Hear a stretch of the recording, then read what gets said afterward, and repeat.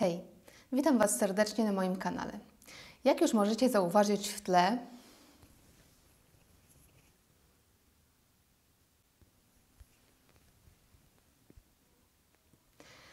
widać tutaj już kilka takich elementów świątecznych. Nie mogłam się pohamować. E, Już lada chwila grudzień i ja powoli zaczynam się już wprowadzać w ten nastrój świąteczny, który bardzo lubię. Także stąd te elementy. Ale przejdźmy, słuchajcie, do ulubieńców e, listopada. Mam tutaj kilka rzeczy z pielęgnacji i kilka rzeczy z kolorówki i coś jeszcze. I zaczniemy, słuchajcie, od e, pielęgnacji. Będą tutaj kosmetyki, które pokazywałam Wam e, w mojej e, rutynie pielęgnacyjnej jesienno-zimowej. E, Ja od razu mówię, że mm, dwa z nich nie używam cały miesiąc, ale polubiłam je na tyle, że mm, no po prostu znalazły się w ulubieńcach. E, I pierwszym takim kosmetykiem będzie balsam pod oczy Dr. Hauszka. Jak wiecie, moim ulubieńcem jest również krem pod oczy z Apotker peptydowy, który ostatnio Wam pokazywałam i przewijał się parę razy w filmach, więc nie będę już więcej o nim mówić. Powiem tylko tyle, że e, jest to taki krem, e, który działa, natomiast nie pozostawia takiej widocznej, wyczuwalnej e, warstwy takiego filmu na skórze, który ja bardzo lubię jesienią i zimą, szczególnie na noc, więc e, szukałam jeszcze takiego dodatkowego kremu, który jakby zamknie tamten krem, to nawilżenie, które daje tamten krem e, no, w skórze. Także mm, właśnie znalazłam taki krem, jest to Dr. Hauszka. E, On ma działanie takie ochronne, e, odżywcze i łagodzące. Zawiera już na pierwszym miejscu e, olejek rycynowy. Zawiera również inne olejki, a nawet masło kakaowe, olejek żożoba i do tego różne ekstrakty roślinne. I co w nim ciekawego, to nie jest taki zwykły krem. Zaraz Wam zrobię zbliżenie. On ma postać takiego bardzo gęstego, gęstej, zastygniętej maści. Nie wiem, jak to powiedzieć. E, W każdym razie bierze się go minimalną ilość. On pod wpływem ciepła e, palców e, trochę się tak jakby rozpuszcza i właśnie smarowuje się go opuszkami palców i dopiero nakładamy bardzo niewielką ilość na okolice oka i on właśnie pełni funkcje ochronne dla okolicy oka. Rano jak wstaję, to ta skóra jest, ma taką wyczuwalną warstewkę, którą bardzo lubię, bo ja wiem, że to oko jakby było zabezpieczone przed, ta okolica oka może, była zabezpieczona przed przesuszeniem w ciągu nocy. Zapach ma e, taki bardzo naturalny, tak jakby, tak jakbym nagietek w nim wyczuwała, bo tu zresztą chyba, e, chyba nagietek również jest e, w tym balsamie. Kolejny kosmetyk, no można powiedzieć, że ja go używam, no trochę będzie to oszukany miesiąc, bo powiedzmy, że pół miesiąca, takie pełne dwa tygodnie, ale chcę Wam po prostu mm, powiedzieć parę słów o tym kosmetyku. Jest to krem, który ja dostałam od firmy Eveline. E, Krem składający się w 100% z naturalnych składników. E, Ja już Wam powiem jakich. Mamy tutaj tak, oliwę z oliwek, mleczko pszczele, miód, wosk pszczeli, pyłek pszczeli, propolis i olejek słonecznikowy. Czyli y, w większości są to produkty pochodzące od pszczół, e, które mają właściwości antyseptyczne, y, odżywcze. Zawierają również dużo witamin i substancji odżywczych. I to jest krem ratunek do twarzy, ciała i włosów. Czyli to jest e, krem, który ma różnorakie przeznaczenie. Generalnie przeznaczony jest właśnie do przesuszonej skóry. E, I on też ma taką dosyć ciekawą e, formułę. Podobnie jak ten balsam pod oczy. Pokażę Wam tutaj. Tak jak widzicie, on również jest e, bardzo gęsty e, i pod wpływem ciepła palców on zmienia się w taką. Nie powiedziałabym, że to jest olejek, bo słyszałam, że niektórzy porównują do olejku, ale on bardziej jest taką rzadką maścią. Tak jakbyśmy wzięły maść i ją trochę podgrzały, to ona taka się robi trochę mniej zwarta w konsystencji, a taka delikatnie mm, tłusta, można nawet powiedzieć. Dlatego ten krem y, należy stosować w niewielkiej ilości, dlatego ja mam tutaj taki nieduży ubytek. I, i Powiem, przyznam od razu, że ja go nie przetestowałam na każdej możliwej części ciała. Ja chcę nim, e, o nim powiedzieć w kontekście kremu do twarzy. Tak, do twarzy. E, Oczywiście no nie polecę go cerą tłustym, natomiast dla cer mocno przesuszonych, e, kiedy jest właśnie mm, mróz na dworzu, który nas niedługo pewnie czeka, kiedy jest e, grzanie kaloryferami, które wysusza skórę. On pełni rolę takiego opatrunku i zabezpieczenia e, i słuchajcie, nawet pod oczy go stosowałam czasami zamiast, zamiast tego kremu. I ja nakładam czasami na noc, właśnie szczególnie w te okolice, raczej na strefę T typu nos, y, tam gdzie mam pory rozszerzone, to go nie nakładam, ale miejsca, które mi się szczególnie przesuszają, czyli po tretinoinie ta cała okolica, y, gdzie mi strasznie schodzi skóra. Ostatnio miałam bardzo podrażnioną skórę, nie wiem co się stało. E, no jak takoś, jakoś tak e, się ułożyło, że miałam tutaj mocno zaczerwienioną skórę e, i nałożyłam właśnie ten balsam. Oczywiście po pielęgnacji, bo ja stosuję pielęgnację warstwową. I on nałożony na tą całą pielęgnację, właśnie mam wrażenie, że zamyka to nawilżenie, stanowi też taką warstwę zabezpieczającą, tylko naprawdę trzeba to zrobić w minimalnej ilości, bo on taką dosyć ma tłustą konsystencję. Aha, i jeszcze słuchajcie, zapach, nie każdemu może przypaść do gustu. E, ja nie mam absolutnie żadnego problemu z tym zapachem. To jest, nie ma tutaj żadnych substancji mm, perfumujących, nadających zapach. Czuć tutaj naturalne produkty pszczele, może bym powiedziała, tak lekko takim miotkiem czuć, więc jeśli nie lubicie takiego zapachu, ale mówię, to jest taki, mam wrażenie, bardzo delikatny ten zapach. Także co kto lubi. Kolejnym e, moim ulubieńcem są płatki. E, słuchajcie, te płatki te już używam od dawna. E, to są płatki z firmy Isana. Nie wiem, czy kiedyś Wam ich nie pokazywałam już, czy one się nawet nie pojawiły w moich ulubieńcach. One są normalnie dostępne w Rossmanie i to są płatki peelingujące, w 100% składające się z bawełny. E, poprzednia wersja była troszeczkę lepsza, e, ale mniej urodziwa, bo mm, była w formie takich drobnych e, kryształków niebieskich, które mm, ścierały skórę bardziej równomiernie niż to motylki, ale te motylki właśnie mają za zadanie wykonać peeling naszej twarzy. One się fajnie nadają do domywania twarzy jakby w drugim etapie, czyli pierwszy etap oczywiście stosujemy olejek albo balsam olejkowy, żeby rozpuścić makijaż. No i drugim etapem później jest oczywiście żel myjący. Także mówię oczywiście, oczywiście, oczywiście każdy stosuje e, te kosmetyki jak uważa, ale ja po prostu stosuję takie podwójne oczyszczanie. I w momencie, kiedy stosujemy ten żel, Fajnie jest sobie doczyścić e, skórę tym e, płatkiem. Chyba, że macie jakąś szczoteczkę soniczną czy inne gadżety, e, to można wtedy innymi gadżetami. Natomiast dla tych, którzy nie mają, to fajnie jakby doczyszcza naszą skórę z zabrudzeń, które gdzieś tam wchodzą, wiecie, między nasze skórki, gdzieś tam w pory.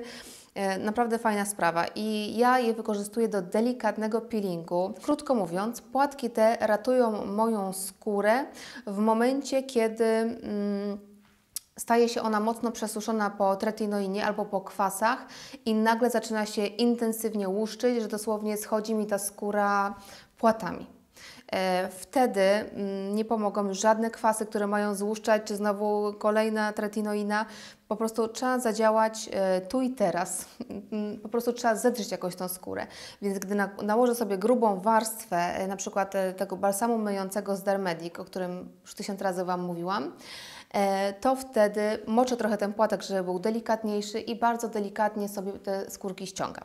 Także to tak w skrócie. E, uwielbiam te płatki.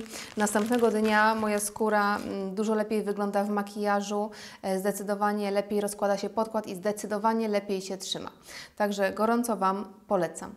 Musiałam polecieć do łazienki po jeszcze jeden kosmetyk z serii tej łagodzącej. Tak, ja teraz szukam kosmetyków, które ukoją moją skórę, nawilżą ją, e, a także no, zabezpieczą przed środowiskiem zewnętrznym. I chcę tutaj powiedzieć o y, kremie, który mnie ratuje w momencie, kiedy mam właśnie podrażnioną skórę po tretinoinie czy po kwasach. I to jest La Roche-Posay Cicaplast Baum B5. Nie wiem dokładnie, jak to się czyta. To nie jest żadna nowość, oczywiście pewnie wszystkie znacie ten kosmetyk. E, ja kupiłam sobie taką małą wersję, bo akurat była na promocji za jakieś niewielkie bardzo pieniądze. On jest skierowany do skóry podrażnionej, ma właśnie przywracać, przywracać komfort skórze e, i ją koić. Zawiera madekasozyt oraz miedź plus cynk plus mangan, który właśnie optymalnie regenerują i chronią skórę, a także 5% pantenolu. Wiadomo, E, Pantenol oprócz tego, że jest humektantem e, i zatrzymuje wilgoć e, w naszej skórze, to jeszcze właśnie ma właściwości łagodzące. E, Tutaj jest aż 5%. E, Zawiera również składniki antybakteryjne i jest też skierowany nie tylko, do, nie tylko dla dorosłych, ale również dla dzieci. E, I słuchajcie, mm, powiem od razu, ten krem nie nawilża mojej skóry wystarczająco, natomiast on e, świetnie pomaga jej się regenerować. Tak jak mówię, kiedy mam skórę podrażnioną, e, kiedy każdy kosmetyk nałożony na nią powoduje, że staje się ona czerwona, to oczywiście mija po paru minutach, ale ten moment, kiedy zaczyna szczypać, nawet jakiś łagodny kosmetyk, który nakładam, jest bardzo nieprzyjemny, a w momencie, kiedy go nakładam, oczywiście jest to jedna z warstw kosmetyków, które ja zazwyczaj używam, dlatego że na niego lubię jeszcze coś, chociażby właśnie nawet ten e, balsam z Eveline nakładać. E, On e, powoduje, że moja skóra rzeczywiście mm, szybciej dochodzi do siebie, przestaje być taka podrażniona, e, e, właściwości mm, łagodzące tego kosmetyku. To by było na tyle, jeśli chodzi o pielęgnację. Teraz przejdziemy do kolorówki. Pierwszym kosmetykiem będzie kosmetyk, o którym już wielokrotnie wspominałam, ale wspomnę jeszcze raz, dlatego że zamówiłam sobie właśnie kolejny kolor. Jest to Hollywood Flawless Filter od Charlotte Tilbury. E, Wiele razy o nim mówiłam, jest to taki primer. Niektórzy mówią, że to jest podkład, bo tak chyba był opisany na stronie e, Charlotte, e, bo on ma lekkie takie właściwości. mm, nie wiem, czy można powiedzieć kryjące. Jest, jest coś takiego, że on delikatnie bardzo wyrównuje kolor skóry, ale myślę, że to bardziej e, chodzi o grę światła niż jakieś takie super właściwości e, kryjące. E, bardzo eleganckie opakowanie, świetna taka szklana buteleczka, bardzo luksusowa e, i te piękne koreczki charakterystyczne dla kosmetyków od Charlotte Tilbury. Do tego ma e, taki gruby aplikator. E, I ta baza, e, słuchajcie, jest taka dosyć gęsta e, i ona rozświetla skórę, jednocześnie nie, nie sprawiając, że jest taka mocno tłusta. Nie jest to takie rozświetlenie, że, że tak powiem, wali po oczach, takie skondensowane krople rozświetlające, natomiast no jest wyraźnie ta skóra jest rozświetlona, taka zdrowo wyglądająca i zawiera też jakieś dobre składniki w sobie. Ja w tej chwili nie pamiętam jakie, na pewno zawiera w sobie skwalen, który ma właściwości nawilżające, kondycjonujące naszą skórę. Wschodzi w skład e, naszego sebum, em, także nasza skóra sama go produkuje. Ja uwielbiam tą bazę stosować tutaj na te okolice pod podkład, ale również stosuję ją e, na podkład e, i u mnie się doskonale sprawdza, e, dlatego zamówiłam sobie teraz, bo ja mam tutaj kolor 1, fair, natomiast zamówiłam sobie teraz czwórkę. Czwórka jest dosyć ciemna, ale ma przepiękne oliwkowe tony. E, Ja już, e, m, tak jak Wam mówiłam, stosuję od jakiegoś czasu samoopalacz, bo stwierdziłam, że moja cera e, zdecydowanie lepiej wygląda, jak jest taka delikatnie muśnięta sztucznym słońcem. No i z myślą też o lecie, mm, tutaj po prostu, żeby stosować na obrzeża twarzy. No nie mogę się doczekać, aż, aż go wypróbuję, tego ciemniejszego koloru. Kolejnym kosmetykiem, o którym chcę Wam powiedzieć, e, który jeszcze na pewno nieraz zobaczycie e, u mnie w, filmikach. Staram się właśnie wybierać go jak najrzadziej, bo, bo wiem, że ja go po prostu używam bez przerwy, od kiedy go kupiłam. Przysięgam Wam, bez przerwy. Może ze dwa razy e, użyłam innego podkładu. No może ze trzy razy użyłam innego podkładu, bo jeszcze w międzyczasie tes- testowałam e, inny podkład. Specjalnie nie będę go teraz mieszać, żeby Wam pokazać. Ja nigdy nie zużywam podkładów. Zdarzyło mi się to nie wiem ile razy w życiu, bardzo mało. Zobaczcie ile ja zużyłam tego podkładu, zaraz Wam zrobię zbliżenie. Ale do rzeczy. Ja robiłam Wam test tego podkładu. To jest Clarins Everlasting Youth Fluid. Podkład rozświetlający i ujędrniający. Z tego co słyszałam, to jest wznowiona wersja i tu właśnie mi nazwa wypadła z głowy, więc Wam napi... Extra Firming. O, wznowiona wersja i niby skład ma podobno taki sam albo bardzo podobny, natomiast jakoś ten extra firming mi nie bardzo przypasował, a ten mi pasuje wspaniale. E, Jeśli chodzi o wykończenie, to ma wykończenie takie rozświetlające, ale bardzo delikatnie, idące w naturalną stronę, bardzo ładnie wyrównuje strukturę skóry. Może on nie ukrywa jakoś strasznie porów, ale skóra wygląda ładnie, zdrowo. Dodatkowo zawiera w sobie pielęgnację, e, utrzymuje się dobrze. Co prawda ja mam teraz trochę problemów, bo z każdym podkładem i mówię to co roku, jak przychodzi ten okres jesienno-zimowy, że moja skóra mocno się łuszczy po tych kuracjach, które stosuję i ona po prostu spija w ciągu dnia całą wilgoć z tych podkładów, no i zostają suche wióry. Także wyobrażacie sobie, jak to wygląda, no po prostu suche wióry.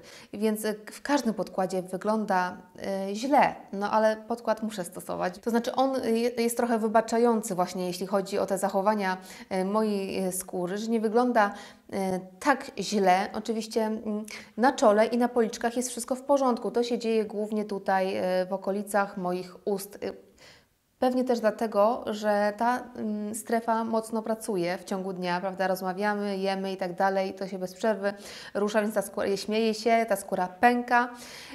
Także mm, no, dotyczy wszystkich podkładów.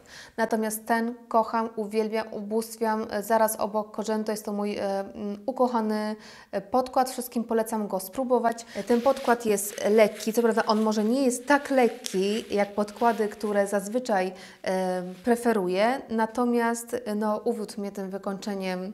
Uwielbiam go, po prostu go uwielbiam. Ma pompkę. Ma zapach, słuchajcie, ładny ma zapach. Na początku mi nie przeszkadzał. Teraz E, uważam, że troszkę mógłby być mniej intensywny. On ma taki świeżo-kwiatowy zapach, można powiedzieć. No ale jakoś jestem w stanie to przeżyć za ten efekt, jaki daje i ma taką bardzo elegancką, e, charakterystyczną dla e, Clarensa mm, buteleczkę, chociaż może kształt nie jest charakterystyczny, ale ta złota skówka, to wycięcie tutaj i czerwony środek, super, elegancki i luksusowy. Pokażę Wam tylko jeszcze kolor. E, on, powiem Wam jeszcze tylko, że on ma filtr 15 e, i PA z trzema plusami. Mm, tak jak mówiłam, mam kolor 106 e, i po prostu jeśli jesteście ciekawe, to odsyłam Was do filmu, gdzie, gdzie opowiadam o moich pierwszych wrażeniach z używania. To mieli być krótcy ulubieńcy, ale jak zwykle się rozgaduję, więc przechodzę szybko do kolejnego kosmetyku. Jeśli mnie oglądacie, to wiecie, że ja jestem zagorzałą fanką pudrów z Hourglass. Właśnie szczególnie mm, pudrów, chociaż tą ich bazę też lubię. E, I mam pudry e, Ambient Lighting Powder w kolorze Diffuse Light e, i w kolorze Luminous Light. No uwielbiam te pudry, no nic mogę więcej powiedzieć. Nie spotkałam jeszcze takich pudrów. Oczywiście y, są pudry oświetlające, które bardzo lubię, ale one mają coś takiego wyjątkowego i magicznego w sobie, y, coś takiego y, optycznie wygładzającego w sobie. Po prostu skóra wygląda dobrze i gorąco polecam te pudry wszystkim skórom dojrzałym, naprawdę, aż w ogóle dojrzałym, suchym, bo tłuste, no to nie wiem, czy będą zadowolone, bo one są rozświetlające mniej lub bardziej. I tym razem nie pokażę Wam tych pudrów, o których mówiłam przed chwilą, bo pokazywałam je tysiące razy. Nadal są moimi ulubieńcami bez dwóch zdań. Natomiast w, w tym miesiącu kupiłam sobie paletkę. tą klasyczną, bo są różne wersje, oczywiście też bym je chciała mieć, ale no już bez przesady. E, I tutaj mamy trzy kolory: Dim Light, Incandescent Light i Radiant Light. E, I Dim Light występuje w solo, natomiast e, te dwa ostatnie to są chyba jakieś, e, to są wersje chyba, które są tylko w tej paletce lub, lub może w ogóle w paletkach. Tak wyglądają te pudry. I dlaczego ja je kupiłam? Ponieważ Luminous Light jest takim dosyć mocno rozświetlający, i taki dosyć ciemny, więc on nie bardzo się nadaje na całą twarz, chyba że bardzo delikatnym woalem nałożony. Zresztą tak się powinno chyba nakładać te pudry, więc ja nim sobie e, ocieplam twarz na obrzeżach. E, ten znowu ten diffused light najlepiej mi się sprawdza tutaj w, e, w tym w okolicy tego trójkąta, no i generalnie mogłabym go na całą twarz oczywiście nałożyć, ale chciałam coś takiego, co by było pomiędzy, więc kierowałam się w kierunku tego dim light. On jest taki, ma kolor, słuchajcie, beżowy, trochę taki szaro-beżowy można by było powiedzieć. E, drugi z nich, ten e, Incandescent Light, e, to on jest znowu taki jasny, bardzo taki rozjaśniający, ale ma w sobie troszeczkę więcej takich drobinek. Oczywiście te drobinki to, jest, to są mini, mini mini, mini, bro... nie, nie mogę powiedzieć brokat, jakbyście zmieliły najdrobniej mielącym młynkiem na świecie, to właśnie to są te, te, te brokaciki. No. Pyłek to jest chyba lepsze słowo, y, jakie tutaj można użyć. Natomiast ten y, trzeci odcień, czyli Radiant Light, to jest taki ciepły, ciepły brąz, może nawet delikatnie przyciepły, dlatego mm, zwykle jak y, sobie tutaj kładę go na kość policzkową, y, to czasami sobie przejeżdżam po prostu po całości, żeby go tak troszeczkę rozjaśnić y, i w ogóle nieraz robię tak, że wszystkie te pudry mieszam razem i nakładam na mm, całą twarz. Co prawda najczęściej na strefę T kładę inny puder, tutaj nos działam rozszerzone pory, chociaż on one też tak trochę odciągają uwagę od porów, natomiast ja już mam tak rozszerzone pory na nosie, że muszę jednak czegoś bardziej matowego użyć, więc na nos szczególnie nakładam inny puder, a na resztę twarzy, resztę twarzy sobie po prostu omiatam. Można nawet e, zagruntować sobie twarz jakimś pudrem i potem delikatnie omyć jakimś takim niezbyt zbitym pędzlem e, całą twarz. Uwielbiam, po prostu dla mnie to jest magia, jedni ją widzą, drudzy jej nie widzą. Natomiast ja ją widzę, uważam, że cera wygląda tak zdrowo, świetliście. No uwielbiam te pudry. I to tyle na temat Hourglass. Ostatnim, yy, ostatnim moim ulubieńcem będą perfumy. I to u mnie duże wydarzenie. Słuchajcie, krótka historia. Y, ja y, ileś tam lat temu, kiedy jeszcze nie miałam dzieci, kiedy mieszkałam z rodzicami, yy, uwielbiałam perfumy. Miałam przynajmniej z 10 flakoników, e, a że ja mam taki dosyć zmienny charakter, jak to się mówi, kobieta zmienną jest, e, codziennie miałam ochotę na coś innego. Tak jak nie mogłabym codziennie jednego podkładu używać, no to są takie wyjątki właśnie. E, tak po prostu lubię zmieniać zapachy. Czasami nie codziennie, ale może czasami co tydzień, zależy co, co mi podejdzie. Dlatego bardzo ciężko zawsze mi było dobrać zapach. Zawsze chciałabym znaleźć zapach, który jest ten, ten mój, który mnie uwiedzie, um, który będzie mnie w jakiś sposób e, przyprawiał od dreszcz emocji, jak go powącham. To, to jeszcze nie mogę powiedzieć, że to jest jeszcze ten mój zapach. Podejrzewam, że nigdy nie znajdę, bo jak ja sobie coś wymyślę, to jeszcze takich rzeczy nie wymyślili, niestety. E, I te wszystkie perfumy, które miałam, to one mi się podobały. Podobało mi się, bo inaczej bym ich nie kupiła, natomiast zawsze gdzieś tam brakowało tego czegoś. Były jedne takie perfumy, to były pierwsze perfumy, które sobie kupiłam za swoje mm, pierwsze takie zarobione pieniądze. I to była Escada Into the Blue. Pamiętam, że ten zapach y, wodził mnie za nos długo y, i, i to było to coś, że jak, że jak nakładałam, to aż mnie dreszczyk taki przechodził. Także to, to były jedyne takie perfumy. Potem już chyba nigdy takich perfum nie spotkałam. Były takie, co mi się bardzo podobały. No miałam różne, ale no nigdy więcej takiego zapachu nie spotkałam. Natomiast to jest najnowszy zapach z Yves Saint Laurent, y, który nazywa się Libre. Y, nie pamiętam totalnie, mm, co tam jest w tych perfumach. Wiem, wiem jedno, że zawierają lawendę. Ja lawend, zapachu lawendy nie lubię, bo kojarzy mi się z takimi, wiecie, babcininymi szafami i, i z molami i w ogóle. Natomiast e, to jest jakaś taka bardzo ciekawa odsłona. E, ja nie lubię perfum zbyt kwiatowych, ani zbyt słodkich, ani zbyt. Zbyt. Nie lubię, nie lubię tego, jak coś jest zbyt. One, słuchajcie, jak je wącham, nie czuję, żeby one były kwiatowe. Czuję, że to są perfumy takie bardziej na chłodne miesiące nie są ciężkie, ale mają w sobie coś takiego ciekawego i podejrzewam, że to jest ta lawenda wybijająca się trochę z takich delikatnie cięższych nut. E, I ta lawenda, słuchajcie, robi robotę. Takie mam wrażenie, bo inaczej one by były może takie dosyć nudne i płaskie. Nie znam się za bardzo na perfumach, nie wiem co daje taki ciepły zapach perfumie. Ja podejrzewam, że to są jakieś piżmo czy jakieś tego typu rzeczy, takie ciepłe tony, natomiast ta lawenda się wybija tutaj, tak podejrzewam. Natomiast ona nie pachnie tak jak typowa lawenda dla mnie. Daje coś takiego takiego, kopa daje tym perfumom. E, dość dobrze się utrzymują, ja się w tych perfumach bardzo dobrze czuję, e, używam ich, e, to są jedyne moje perfumy na tą chwilę, bo ja słuchajcie, nie używałam przez te lata perfum, bo oczywiście tamte to wszystkie wylądowały w śmietniku, ale nieraz dostawałam jakieś próbki i testowałam sobie często próbki, Dzięki temu mogłam mieć, wiecie, codziennie e, coś innego, czyli tak jak lubię. Natomiast do tego zapachu jakoś się tak przywiązałam i mam wrażenie, że im dłużej go używam, tym bardziej mi się podoba, a to już na pewno jest e, ponad miesiąc. Ja używam, ja używam zresztą bardzo niewiele perfum. To jest woda perfumowana, więc e, zapach jest dość intensywny. Zobaczcie na ten flakonik. Flakonik jest przepiękny, przepiękny, piękna ozdoba toaletki. No i ten piękny zapach bardzo mi się podoba. Bardzo. To by było na tyle. Mam nadzieję, że ten filmik nie wyjdzie jednak zbyt długi, bo ja mam tendencję do tych długich filmików. Dajcie znać oczywiście, jacy byli Wasi ulubieńcy listopada.